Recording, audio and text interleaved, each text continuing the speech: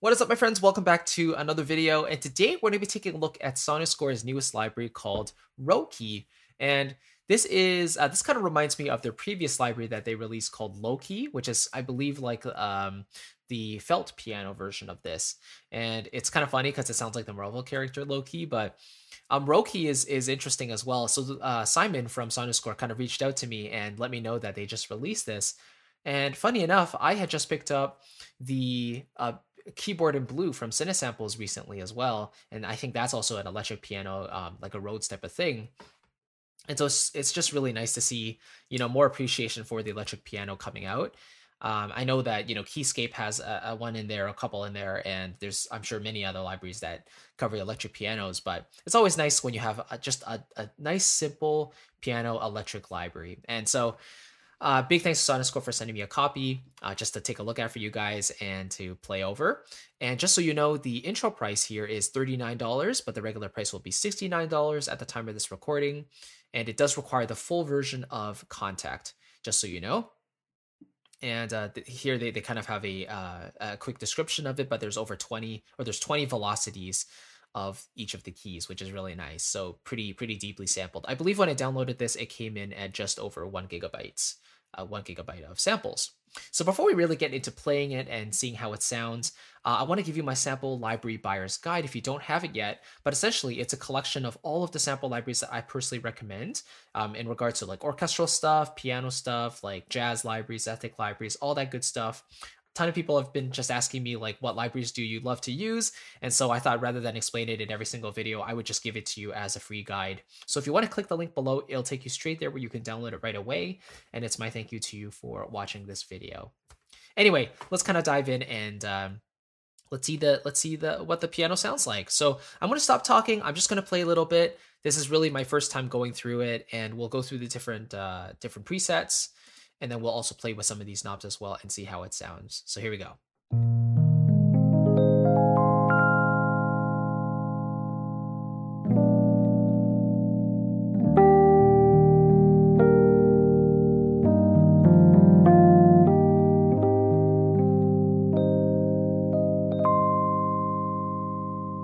thank you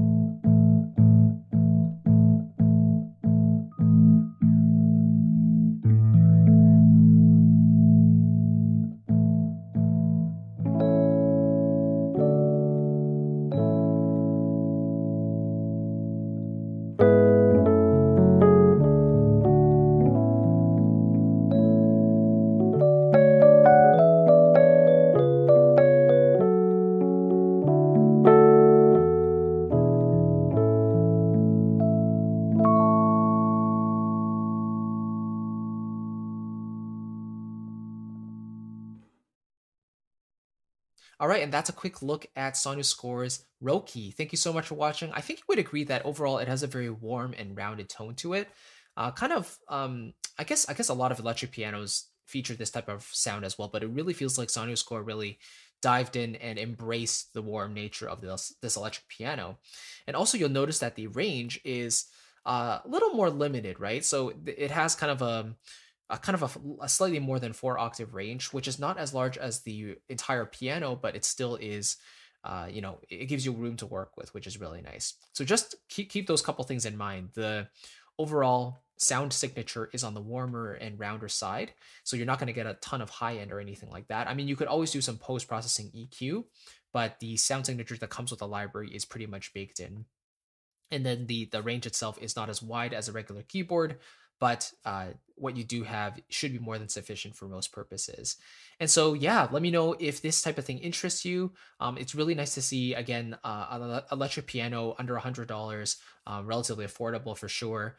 And again, big thanks to Sonuscore for sending me a copy to review for you guys. I definitely think that uh, you know, in addition to Keyscape and a uh, Keyboard in Blue from Cinesamples, there's more and more options nowadays, and you can really go super in depth for a big library, or you can get the very basics. And I think this library really covers the basics. They give you 20 velocities per note, which is wonderful, um, and it's just over a gigabyte, so it's not very large at all for your sample library uh, comparison. Anyway, let me know what you think of this library. I personally would love it for uh, more intimate settings, maybe even for like lo-fi stuff. Uh, I think it'd be really cool. But yeah, if you if you think you would use it for different different applications, please feel free to let me know in a comment below.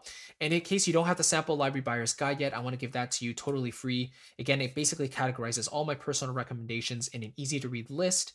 And I kind of um, separated by different sections, different categories of instruments, and also by prices. I list them there as well, so you kind of know what you're investing in and how much to put into uh, your purchases. So it's totally free. If you want to click the link below, it'll take you straight there. And again, it's my thank you for watching this video. So I appreciate it. I'll catch you in the next video and see you then. Bye bye.